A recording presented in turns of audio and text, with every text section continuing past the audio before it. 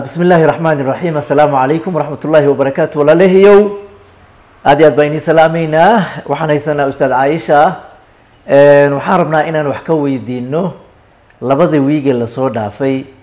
Baraha bulshada ee kenya waxaa qabsatay gabar muslimad ah oo nasiibo kable la yidhaahdo oo asalkeedii journalist ahayd. Kadib maskaxda iska bedeshay oo xanuun uu ku dhacay kadibna ayadoo waddooyinka jiifta oo dragis isticmaalaysa la soo arkay. Dabcan dad baa muuqaal ka soo duubay ayadoo baaba-day oo waddooyinka jiifta. Marka waxaan rabnaa information gaaban inaan ka helna ustaadada maadaama ay u dhundaloosho dhanka kiswahiliga iyo ingiliishka maadaama luuqado badan looga hadlo wadanka ayna warbixin badan nooga hayso. Ustaada waa ku soo dhaweynayaa gabadhan informationkeeda nasii maxay ahayd caafimaadkeeda maxaa ku dhacay? Maxaa geeyay waddooyinka sababtay u jiifatay waddooyinka maxay tahay? Barnaamijkeena waxaa noo fududeeyey maqaayada iyo hoolka dubay hotel ugu imaaw hoolka shirarka aroosyada iyo guud ahaan xalfadaha noocyadeeda kala duwan. Wuxuu ku yaalaa sigis street wuxuuna daris leeyahay masaajidka sigiska wixii faahfaahin dheeriya fadlan ka wac. Taleefanada shaashada kaaga muuqda. Gabadhan waxaa la dhahaa nasiibo reer boran weeyaan. Waayahay. Yes muslimaad weeyaan. Maasha allah muthaqafa weeyaan. Gabadh oo waxay dhahday maraykan ay tagtay oo journalism ay ka soo bartay. Markay soo noqday horta waxay dhahday gabadhan family oo maskiin kama imaanin. Yani family oo gabadh maskiin maahan. Maasha allah so gabadh oo sharaf lagu koriyey Waaya. horta saasay dhahday iyada family diin ay leeyihiin iyadana no waxa ay rabtay iyada oo yar ilaa soo weynaaday way heli jirtay. Waa heli jirtay. So qof oo dib lagu koriyey maahan so markay marayka ka soo mayna dhamanin naha barashadada in uh, america she did not finish. Ka timid markay halkan timaaday waxay gashay uh, multimedia university mise ixda one of the jaamicat in kenya. Journalism ay samaystay way ka boogtay marka. So shaqo fi fiican ay heshay gabadhan different media houses ay ka shaqayn jirtay. Oo waqti corona khabar oo maasha allah caajil ay keeni jirtay. Waay. so qof mashhuur ay noqday. Waaya so cilaaqa ay gashay iyada iyo nin kale gabadhay ka heshay ninkaas. So cilaaqadaas it, it didn't go well. Way, kala tegeen laakiin gabadh yaray leedahay gabadh qurux oo maasha allah bay dhashay ha. So ninkii markuu tegay ka, tegay bay muro dilacday maca other things in life moogtahay?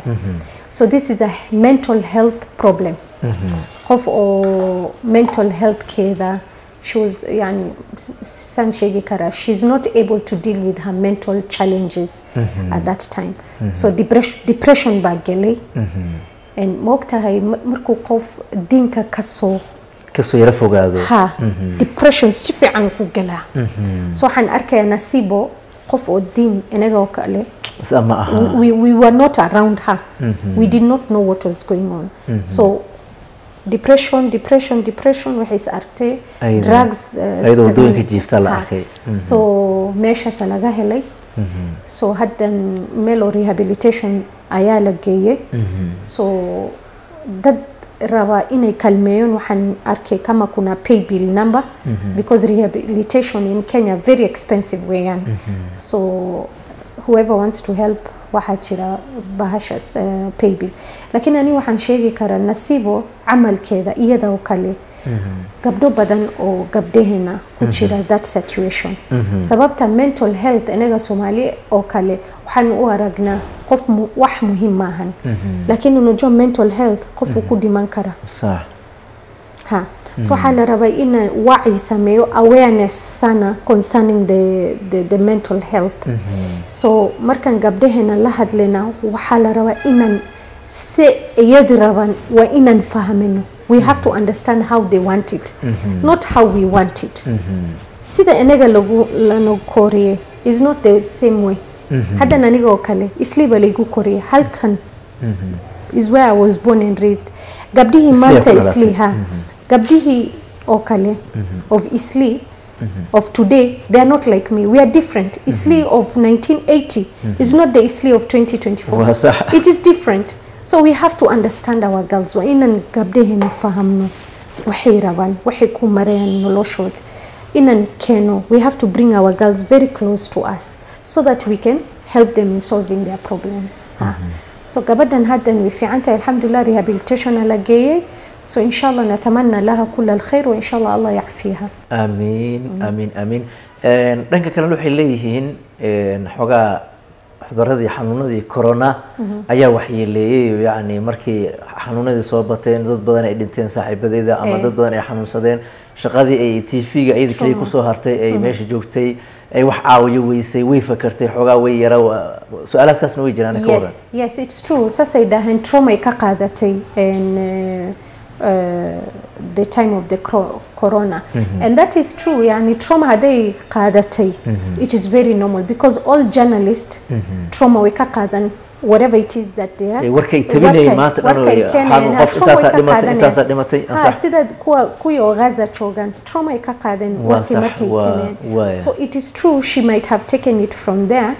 And uh, again i say nasibo did not get the right people around her May helin dad oo advice siinaya dad oo caawiya ama Sometimes, muslimiin caawisa caawiya. ama qof wanaagsan oo Sometimes- caawiya maysa helin sometimes you can say in uh, uh, nasibo fam familigeed oo ahligeed maxay u kalmay weyde sometimes family familiga iyo ahalga they would not understand you.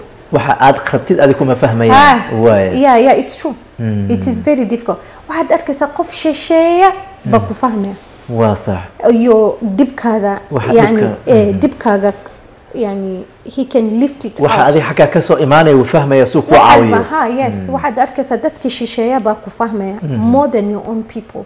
So i think even nasibo was like that. Okay. so yes so nasal allah alcaafiya ilaahay caafiya insha allahu tacaala waxaan u rajaynaynaa ilaahay caafimaad taam inuu siiyo. Een, eh, dabcanna waxaan u soo gudbinay barnaamijkan aan u yacni gabadhaasi warkeeda u keenay waa caafimaadkaa haysid ku waari maysid oo ma ogid beri inaad xanuunsan doontid. Ilaahay caafimaadka ku siiyey maantay u mahad celi. Meesha maanta taagan tahayna ilaahay ku soo gaarsiiye u mahad celi. Mar kastana diinta alle ka ag dhowow oo ha ka fogaanin ilaahay kitaabkiisa iyo sunnadiisa iyo adkaaraadka ha ka fogaanin insha allahu tacaala.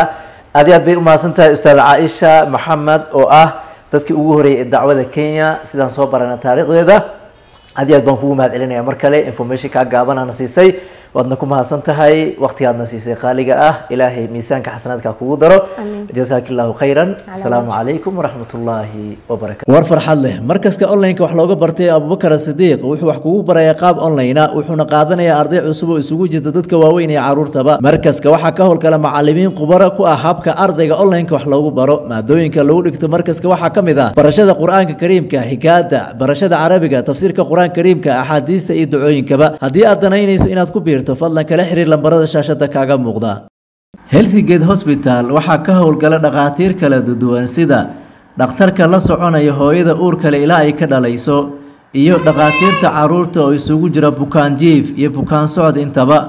Sidoo kale waxay hayaan dhalada carruurta lagu kobciyo waxayna furan tahay afar laatanka saacadood. Healthgate hospital ugu imow shaybaar casriya. Ha iloobin farmashiya daawadu u dhammaystiran tahay isbitaalku wuxuu ku yaalaa arban hotel waddada muratina road ka soo horjeedka buwani police station. Wixii faahfaahin oo dheeriya fadlan kala xiriir taleefanada shaashada kaaga muuqda